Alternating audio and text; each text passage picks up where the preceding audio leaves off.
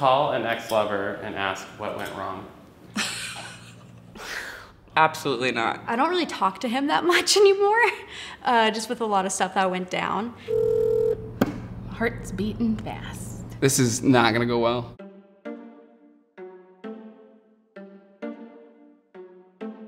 Call one of your exes. I only have one. You gotta call. I haven't spoken to him since. Who's the one you're most nervous to call? I have one that I like call the one that got away. Why are they the one that got away? He won't let me love him. It's the not reciprocated feelings that it's just like that's the one I want. We dated when I was maybe 19. I haven't talked to him in a long time, so we'll see if he answers. Oh my god. If he answers, it's gonna be so weird. Because that was a secret. His parents are just very, very strict people. He would like leave work to hang out with me. So, let's see. Hello? Hey, Sig. Hey. I had to call an ex and ask what you think went wrong with our relationship.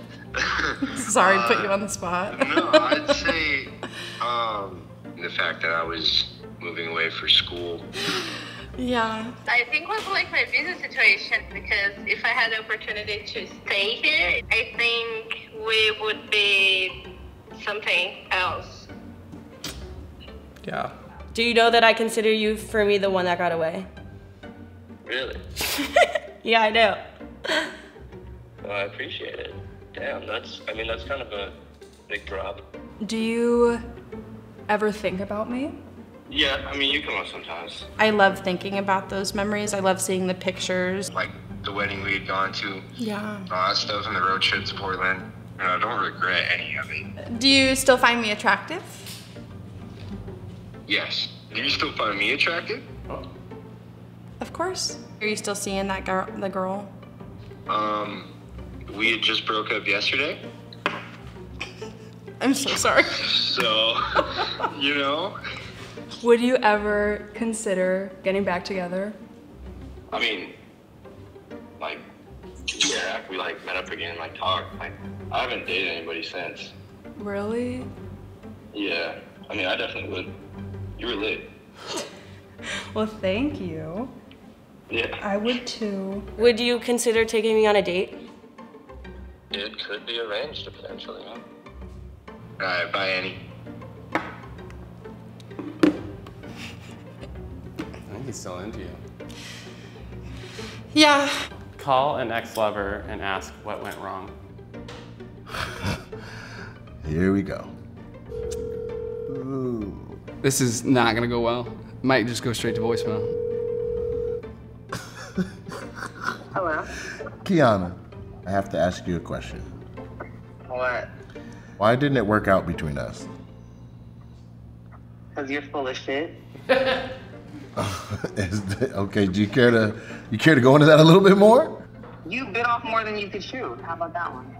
I did. You talked a good one, and then Uh-huh. when the follow through came up, you were like, you know how the DJ scratches the record? Yeah, I mean that's what I saw when I looked at my bank account. It said skirt. That's it. I bit off more than I could chew. Good God, this girl wants how much money from me? Why did things not work out between us? Um, why do you still have my phone number? I just, I didn't delete it. Yeah, go ahead and do that. What do you want to know my situation for? Are you trying to get back with me? I came into some money, and I think I might be able to afford to hang out with you.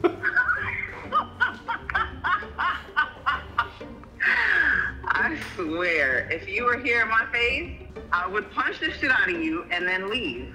Bye. Bye. Have a good life.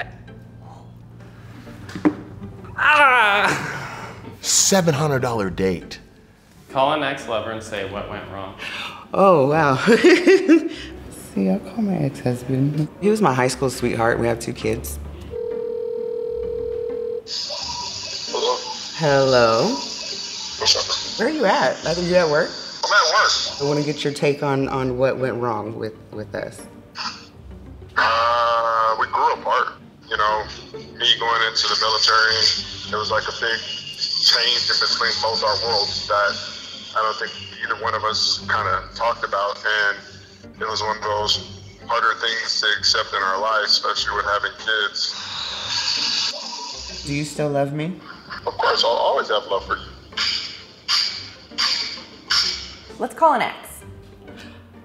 I don't have any of my ex's numbers on my phone. I usually delete them. What about Facebook?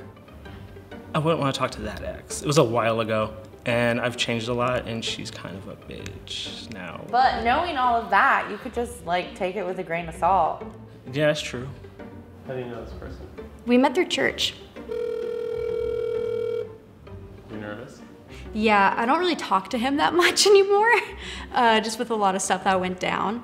Hey, um, so what do you think went wrong with our relationship?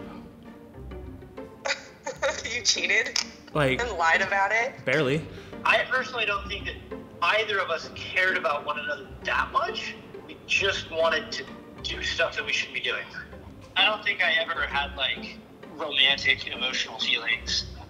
See, I was the other way. See, I did, I did like you, so. I'm supposed to call an ex and ask what went wrong. Okay, this is gonna be really hard to take. Are you ready for it? Mm-hmm. I'm super gay.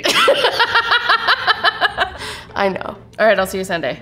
I never actually cheated. Why did she think you cheated?